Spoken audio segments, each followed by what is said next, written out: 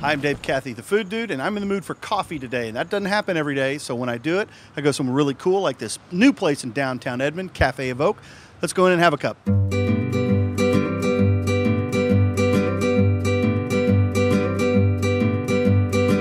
have a great staff and um, great people behind us who helped us develop a fun food menu. And um, so we do most of our baked goods in-house, our breakfast baked, baked goods. We have some pastries that rotate on a daily basis, and then we do some grab-and-go sandwiches. So we make them in the morning. Um, we have them available throughout the day as they last. And then we have tableside s'mores, which are super fun. And we um, have some waffle cookies instead of graham crackers. And then we have Askinosie chocolate. Then we do um, our marshmallows from a chocolate company in Dallas called Dude Sweet.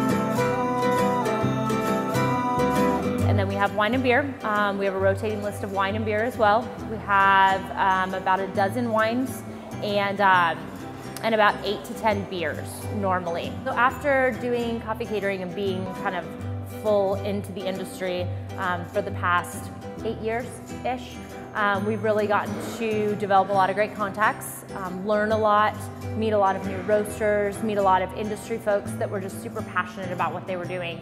And so when we had the shop, when we were developing all this, we realized that it gave us a new opportunity um, because we'd have a higher quantity that we'd be selling, we could bring in more roasters, um, different varieties, different um, regions, and we just have more access to stuff than what we had in the past. So that's been really fun, and we've um, our customer base has really gravitated towards always having something new, coming in and asking like, what's on pour over today? What do I have to try? So all that's helped us to grow closer to our, our customers as well. So we're open in the evenings already.